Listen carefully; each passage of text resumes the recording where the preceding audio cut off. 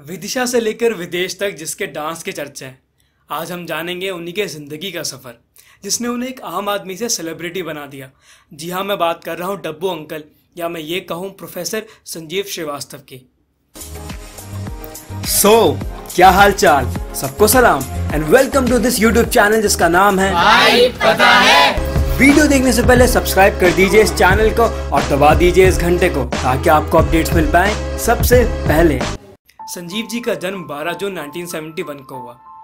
बचपन में वो अपनी माँ को कॉलोनी में रह रही लड़कियों को फ्री में डांस सिखाए देखा करते थे और बहुत हँसते थे।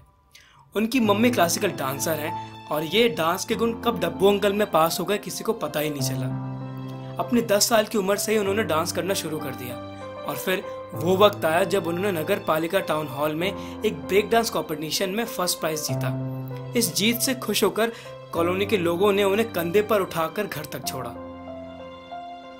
और वहीं से वो डब्बू डांसर के नाम से विदिशा में फ़ेमस हो गए। वो अक्सर थिएटर में जाकर फ़िल्में देखते और फिर घर आकर गोविंदा और मिथुन के डांस स्टेप को अकेले में प्रैक्टिस करते थे।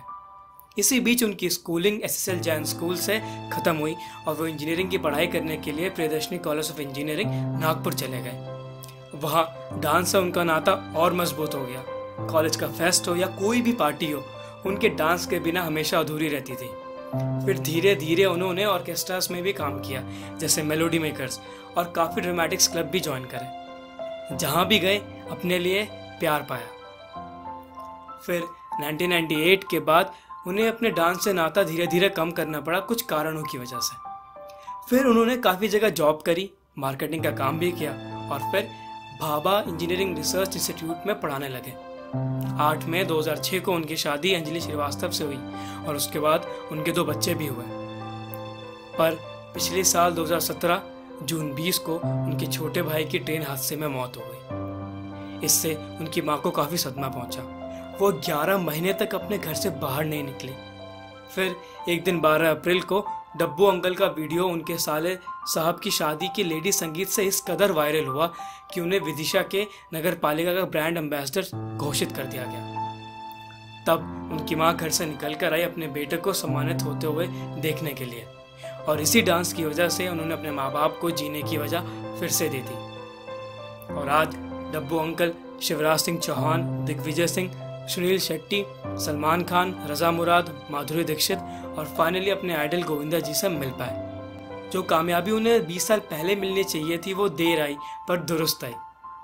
एक प्रोग्राम के दौरान स्टेज से गिर जाने की वजह से उनका लेफ़्ट पैर उतनी ठीक से काम नहीं करता। तब भी उन्होंने डांस करना कभी नहीं छोड़ा और सबको एंटरटेन करते आए। तो अगर कोई भी आपसे ये बोले कि डब्बू अंकल तो यूँ ही फ़ेमस हो गए तो उन्हें ये वीडियो ज़रूर दिखा देना। और हाँ डब्बू अंकल के ओरिजिनल सोशल मीडिया हैंडल्स का लिंक मैं डिस्क्रिप्शन में दे दूँगा। तो शायद आज आपको कुछ नया जानने को मिला हो। तो इस वीडियो को अपने दोस्तों के साथ व्हाट्सएप और फेसबुक पर ज़रूर शेयर करें ताकि ये वीडियो डब्बू अंकल और उनके फैंस तक पहुँच पाए।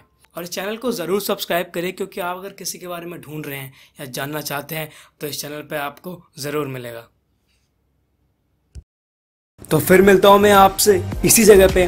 तब तक के लिए मैं आपके लिए ढूंढता हूँ कुछ इंटरेस्टिंग कुछ धमाकेदार और कुछ इन्फॉर्मेटिव